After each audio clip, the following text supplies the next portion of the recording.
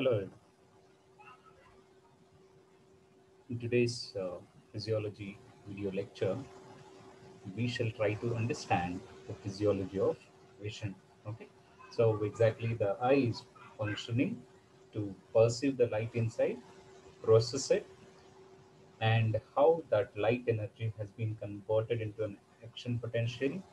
And this action potential has to be transmitted to the visual cortex in the brain and in the brain, image interpretation takes place. So this phenomenon and the physiology behind it, we shall try to understand in this class.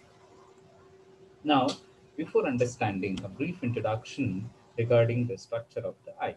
Okay, so remember students, uh, we have to concentrate on the physiological aspect of the vision, not the structural aspect of the eye ಆದರೆ physiological aspect ಅನ್ನ ಅರ್ಥ ಮಾಡ್ಕೊಳ್ಳೋದಕ್ಕೆ ಮುಂಚೆ it is very important to understand the structural aspect okay so just two minutes on the structure of the eye ಕಣ್ಣನ್ನು ನಾವು consider ಮಾಡಿದಾಗ structure of the eye if you consider so we have three important layers number one yes number one an outermost fibrous layer a vascular layer middle one and a very important layer that is the retina it is the light perceiving layer okay? Now this is the structure of the eye. You can see this is the outermost sclera and the colored portion is called the choroid and the innermost layer so this inner white one is what is known as the retina okay? So this is the eyeball lens and ciliary body you can see here suspended muscles and iris. You can see the iris part of it okay? So the light enters through here and there is accommodation in the lens for adjusting the light entering into the eye. And then the light gets transmitted through this and finally strikes the light sensitive layer that is the retina. So this is how the light enters. And once the entry of light is regulated by this white portion of the eye called the cornea and falls onto the lens. And from the lens will be transmitted to the retina okay? So the light that is transmitted to the retina how it is able to generate an action potential in the neurons that are present here and these has to be supplied to the brain okay? So and in the brain there is interpretation of the image okay? So we shall uh, try to understand how exactly this process takes place in the eye.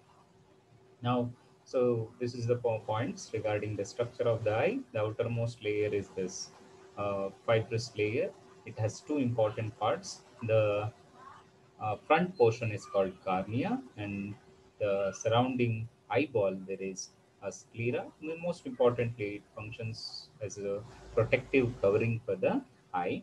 And the white portion of the eye, that is cornea, helps in allowing the light into the eye and also focus the light onto the lens. Okay, so this is a function of the cornea. Now the middle layer, it is made up of three parts. One is choroid, ciliary body, and iris.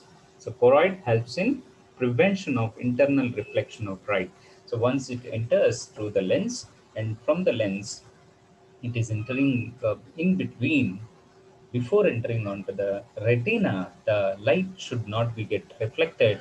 That will not create a clear-cut image. Okay, so that will be done by choroid and ciliary body. Uh, this importantly brings about accommodation of the eye. So we uh, we look at uh, different objects at different distances, and different objects emit uh, different type of uh, light radiations and all that has to be adjusted by the lens this adjustment of the lens uh, will be uh, done uh, that process contraction and relaxation of the lens is called accommodation. And this accommodation uh, process is mainly controlled by the ciliary body and the ciliary muscles. And then there is iris. It is the pigmented portion of the eye uh, present uh, suspended around the pupil. Okay? And um, this the fun- main function of the iris is to regulate the amount of light that is entering into the eye. So suddenly there may be um, high intensity light that may enter or there is very low light that is entering all this uh, will be uh, the intensity of light that is entering into the eye will be uh, regulated by the iris. Now, this layer is important for us for today's topic of physiology of vision, the innermost layer that is the retina. Retina is mainly made up of uh, three important uh, layers. Now, this light sensitive layer has three important uh, layers. Now, which are they? We shall see. Now, number one, there is a pigmented epithelium and there is a light sensitive layer this light sensitive portion again has the neurons, photosensitive neurons, which we call them as rods and cones. And there are bipolar uh, cells, by, this is called bipolar cell layer and innermost ganglionic layer. Okay, so the pigmented epithelium is followed by these three important layers. And in um, retina, we come across, uh, there is this portion called as a blind spot or optic disc. And this will uh, not, um, it is not sensitive to light. And there is macula lutea, fovea centralis, which is very, very sensitive to light. Now, this is the picture showing the here you can see the pigmented epithelium, and these are the rods and cones, photosensitive cells, and this is the bipolar layer and this is the ganglionic layer. Remember, the light enters in this direction from the lens. It passes through the ganglionic layer and goes to the bipolar layer and then it reaches the rods and cones. Now, depending on whether uh, the bright light is entering or dim light is entering the respective photosensitive cells will function. If it is dim light, rods are very sensitive to the dim light, and if it is bright light, cones are very sensitive. And you do know that the cones are responsible for colored vision. Okay. So with this background of uh, structural aspects, let us move on to the physiological aspect of the eye, physiological aspect of the vision. Okay. Now, uh, some structural details I have given here. So let us come to this point where I have told you the light enters through the ganglionic layer first and then bipolar layer and then reaches the receptor cells. Now, in this direction, the light moves, but this light uh, that is entering into the photoreceptor cell will be able to generate an action potential that action potential that is generated travels in the reverse direction. If this is the direction of entry of light, the direction of movement of the nerve impulse, the action potential that is generated is opposite. That is from the photoreceptor cells to the bipolar cells to the ganglionic cells. Okay. And uh, this I have already told you, rods are sensitive for dim light and cones are sensitive for bright vision. Okay. So here we shall start with the physiological aspect. Now the physiology of vision, uh, ನಾವು ಅದನ್ನು more ಭಾಗಗಳಾಗಿ ವಿಂಗಡಣೆ ಮಾಡ್ತೇವೆ which are the important uh, portions which we study the vision, vision physiology.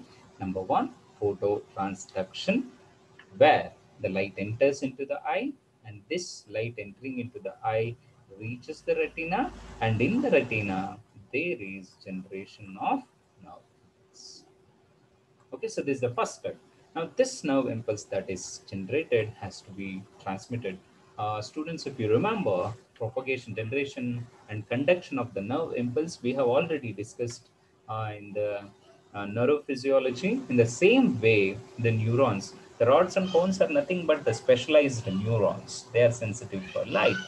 So due to the light stimulus, the there is generation of the action potential and that action potential will be transmitted to the optic nerve and optic nerve to the visual cortex of the brain.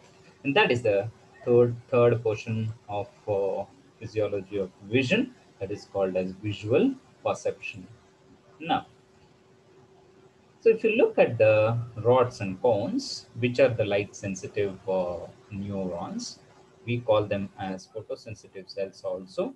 they have what are known as photosensitive pigments. Okay, so these pigments are very, very important for bringing about the phototransduction reaction.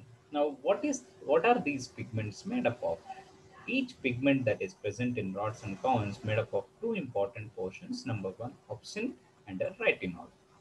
What is this opsin? Opsin is a transmembrane glycoprotein and there are two important opsins. One is photopsin, another one is scotopsin. Okay, so photopsin along with a retinol present in the cones and scotopsin along with retinol present in the rods. Okay, so what is this retinol? It's a, a, a, a structure or a cofactor that is derived from vitamin A. Remember, the retinol is consistently supplied by the pigmented epithelium that we have seen in the retina. Okay. Now, whenever the these pigments, light sensitive pigments, they have a specific structure. But due to the striking of the ray light, this light sensitive pigment undergoes a structural change. The structural change that occurs in the light sensitive pigment is responsible for bringing about the action potential. Remember, once the light strikes, the photopigments have a specific structure and this photopigment undergoes structural change and the change in the structure of the photopigment isomerism results in generation of the action potential. Okay, so that much is important to be uh, remember.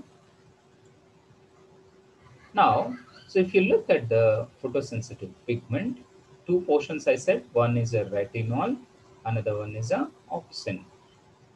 Now this retinol, this retinol that is present in the photosensitive pigments, it is always present in the form of cis retinol. Okay, so at rest, when light is not striking the uh, photosensitive uh, pigments, at that time, the retinol part of the photosensitive pigments, it is in the form of cis. Okay, so on light striking, on light striking the cis form of the retinol, what happens? This cis form gets converted to trans retinol. Okay, so the conversion of cis retinol to trans retinol results in what is known as bleaching. Okay, so what is this bleaching? Now at this point, when the light strikes, when the cis form gets converted into the transform, this is no more ready to accept any other light that is entering. Okay, at this point, where the opsin is not ready to accept the new photon, that is known as the bleaching part of the vision. Okay, now you see here the opsin cannot respond to light energy until it's get converted into cis form. Remember, if the opsin is in cis form, it can perceive the light if it gets converted into the transform, it cannot perceive the light and that we call it as the bleaching. Now, once this is done, there is generation of the action potential. Now, as soon as the generation of action potential is there, the transform converted back into the cis form again. Okay, so this reformation of transform into the cis form what we call it as regeneration.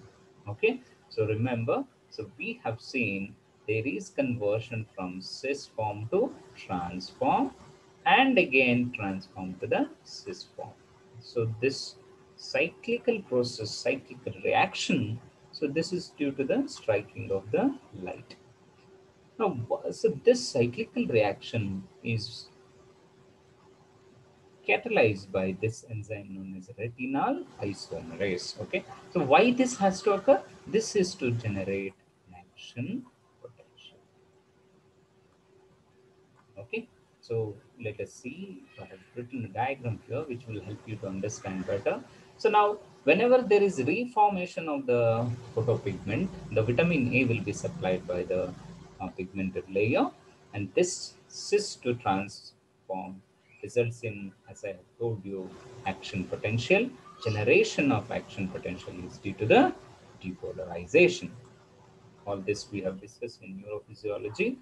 Now see, same thing, I have shown the picture here. So when at rest, when the light is not striking, the uh, photopigment is in the form of 11 cis retinol opsin at dark. Now the light strikes this molecule. When the light strikes, this gets converted into a transform and gets bleached. Once this is done, there is generation of the action potential. After this, the transform again reconverted into the cis form. So there's a regeneration, two important steps. Uh, see here, uh, this is a rod. Inside the rod, there is uh, discs that are present. On this disc, we see the uh, presence of the proteins called photopigments. And these photopigments have two portions. This blue portion is the uh, retinol, uh, sorry, the opsin, and this is the retinol. You can see here, the if you look at the cis form, it has a bend here, and once it gets converted, due to the striking of the light, once it gets converted into transform, it becomes a straight chain, okay? Now this conversion, this isomeric conversion of cis to transform is responsible for generation of action potential. Now, uh, I have created a flow chart here to make you understand better. And what happens, the light strikes, enters through the um, eye, um, accommodation of the lens, and from there it strikes onto the retinal layer. And as you all know, retinal layer, the light enters from the ganglionic layer, then bipolar layer, and then retina. Uh, that is photosensitive layer. So this photosensitive layer has two cells. One is rods, another one is cones. Okay. Now uh, let us see what happens. So the light with 380 to 720 eye is sensitive for that. There is a refraction of light once entering into the eye. The bending of the light rays is there. And accord, depending on the intensity of the light or brightness of the light, accommodation of the lens takes place. A lens is a flexible lens that we have so it can contract and relax based on the intensity of the light. Now, whatever the light rays that enter, all of them will be converged and presented onto the retina. So in the retina, there is photochemical reaction. So in the first step, let us see what happens in case of uh, rods. So the kind of vision that we see in rods is called dim light vision or it is also known as scotopic vision. Now the rods have photosensitive pigment that is called as rhodopsin. Rhodopsin is made up of scotopsin plus Okay. Now once the light strikes, dim light strikes the rods, there is enzyme activation and produce an important uh, molecule called as transducin so when the dim light strikes, there is production of an important molecule called as transducin. And this transducin activates an enzyme called as phosphodiesterase. And this phosphodiesterase hydrolyzes the cyclic GMP. And these three steps, transducin activating phosphodiesterase and activating cyclic GMP, it stops, remember here, it stops it is different in neurophysiology that what we have discussed it stops the entry of uh, sodium ions into the rods okay so as the sodium ion entry stops into the rods there is more and more negativity in the uh, cytoplasm as a result there is hyperpolarization this uh, uh forms a new neuronal signal. Okay so the hyperpolarization results in formation of a nerve impulse. And this nerve impulse through the optic nerve, it will be transmitted to the, through the optic nerve, it will be transmitted to the visual cortex that is present in the brain. Now, what about the cones? So in the cones, they have a photopigment called as iodopsin. Remember, this is called a rods it is called scotopic vision. Here it is called photopic vision or color vision. Photopsin is there plus retinon. Now here um, we do know that the cones are responsible for colored vision. Now, what is bringing about a perception of different colors? You can see depends on which cone is stimulated among the three and combination of three. So there are three important types of cones which are sensitive to three uh, different colors. And three among these three different colors, which among the three are stimulated based on that the eye will perceive the color. Now, which are the different colors we have discussed in the previous slide. So once the light strikes the cone, bright light strikes the cone, the enzyme activation takes place, transducin is produced, same phosphodiesterase and cyclic GMP gets hydrolyzed. The phosphodiesterase, which is bringing about the cyclic GMP hydrolysis, again stops the flow of sodium ions into the cones, which brings about hyperpolarization, which generates the action potential. Okay. Again, this action potential will be conveyed through the optic nerve to the brain. Okay. So this is uh, the same kind of uh, um, uh, physiological reactions we see both in rods and cones. The only thing is they are sensitive for light of different intensity. Now let us see this action potential that is uh, generated from the rods and cones will be transmitted to the bipolar neurons and from there it is transmitted to the ganglionic neurons. As we all know in the nerve physiology as we have uh, studied, the impulse gets transmitted to the synapse. Okay, so the synaptic transmission takes place, activation of bipolar neurons from there ganglionic neurons and finally reaches the optic nerve.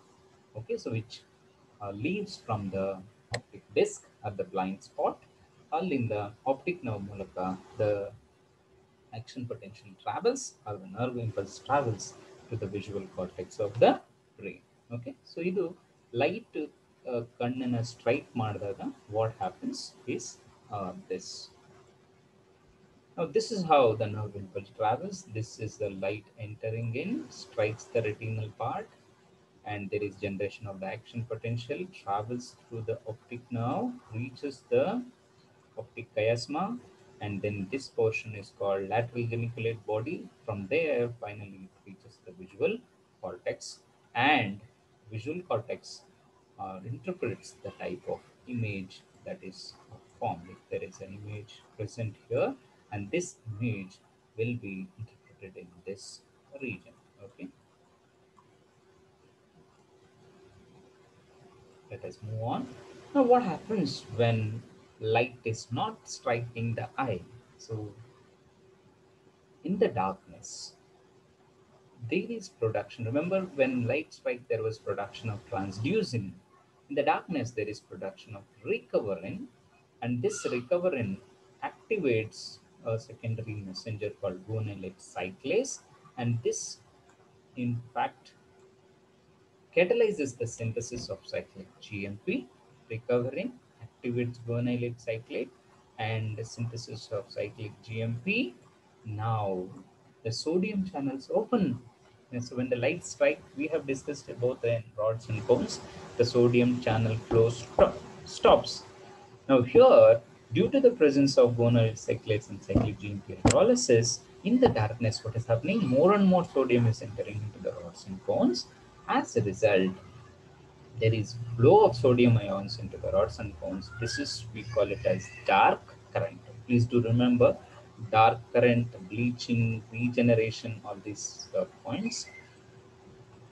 Now, um, this entry of sodium ions into the rods and cones stimulates formation of a neurotransmitter called as glutamic acid, amino acid, which acts as a neurotransmitter so glutamic acid which is inhibitory in function okay? So the inhibitory nature of the glutamic acid causes hyperpolarization of the bipolar neurons. The bipolar neurons get hyperpolarized. This stops the light stimulus cannot be received by the retina so due to this the light stimulus cannot be uh, received by the. So this is what happens in the darkness. Understood? Now, in the physiological aspect, we have understood how the light energy is converted into a neuronal signal and how that neuronal signal has been transmitted to the visual cortex in the brain. Okay. So now light entering, accommodation in the lens, refraction, reaching the uh, retina, and in the retina there are okay, there's a ganglionic layer, bipolar layer, photosensitive layer, and pigmented epithelium.